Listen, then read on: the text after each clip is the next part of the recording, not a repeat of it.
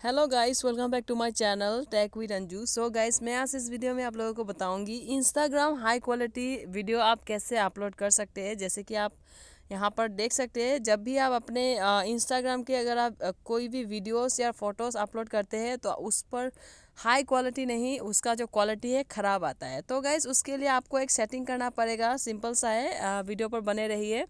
सबसे पहले तो आप देख सकते हैं राइट साइड कॉर्नर में आपको यहाँ पर थ्री लाइंस का ऑप्शन दिखाई दे रहा होगा, वहाँ पर आपको क्लिक कर देना है।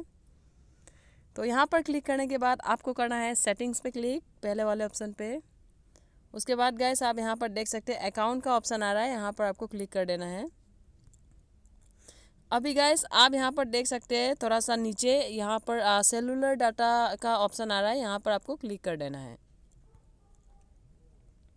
तो गाइस यहाँ पर आप देख सकते हैं मीडिया अपलोड क्वालिटी अगर आप कोई भी वीडियोस या फोटोस अपलोड करते हैं, आपको हाई क्वालिटी में अपलोड चाहिए तो गाइस आप यहाँ पर देख सकते हैं अपलोड ए हाईएस्ट क्वालिटी इसको आपको ऑन कर देना है. इसको आपको ऑन कर देना है. जैसे कि मैं यहाँ पर ऑन कर देती हूँ.